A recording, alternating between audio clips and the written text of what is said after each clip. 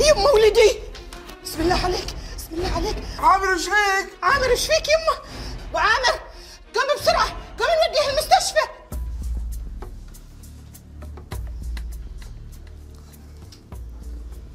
الحقيقة أنا ما أدري وش أقول لكم. لكن عامر مصاب بفشل كلوي. يا عمري يا ولدي. لا حول ولا قوة إلا بالله. والنعم بالله. لكن اسمعني زين يا عم. خلال هالأسبوع لازم نسوي له أقل شيء ثلاث جلسات غسيل. وأرجوكم لازم تحافظون عليه. يعني لازم يبتعد عن المشروبات الغازية ومنتجات الألبان والحلويات والمكسرات وأيضا الدهون والوجبات السريعة.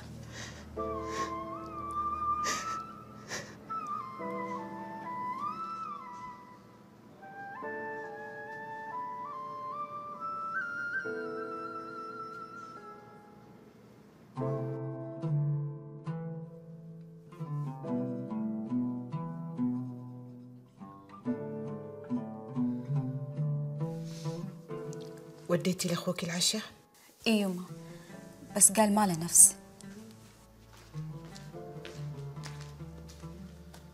السلام عليكم. عليكم السلام. يما تبي أسوي لك شيء؟ لا ماني مشتي ابى أروح عند العيال في الاستراحة. روح وأنا أبوك عند أخوياك. وسع صدرك؟ ولا ارتحت؟ تعال. سمي بهم بعد إذنكم.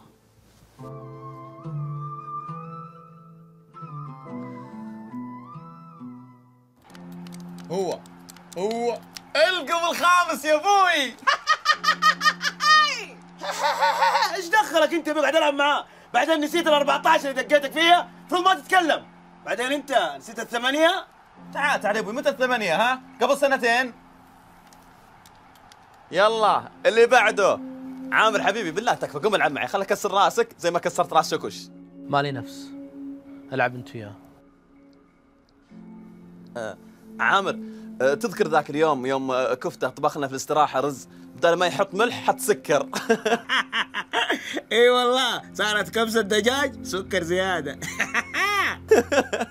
بعد إذنكم. وين؟ بدري. عندي غسيل بكرة الصبح. لازم أروح.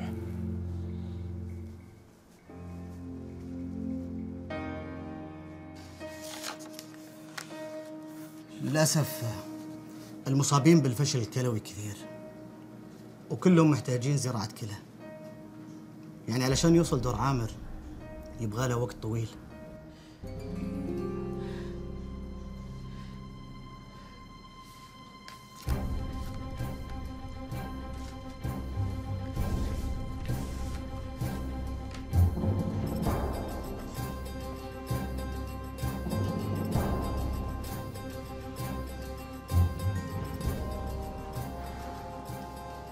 عامر انتظرني شوي برجع لك.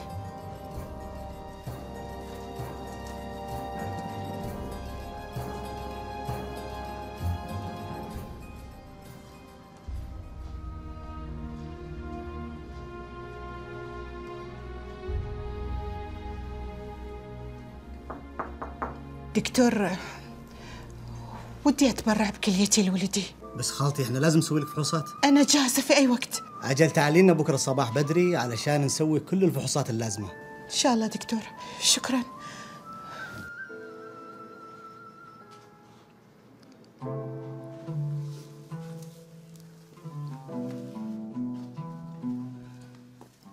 عامر يما حبيبي نام وارتاح لا تشيل هم. كلها إن شاء الله يومين أو ثلاثة وبترتاح. إذا احتجت شيء صوت لي.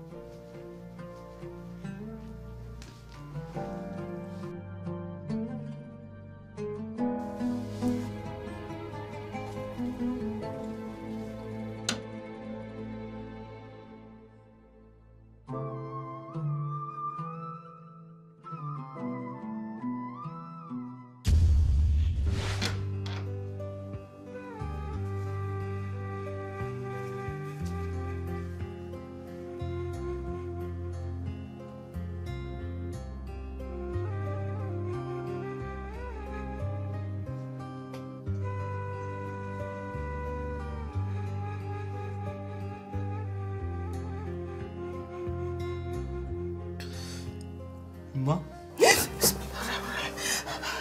عامل فيك شيء؟ تبي شيء؟ إيش عندي سي يما ابد يما قلت يمكن تصحى بالليل. تبي شيء؟ تحتاج شيء؟ وتنادي علي وما أسمعك. الله لا يحرمنا منك يما ولا منك يا حبيبي.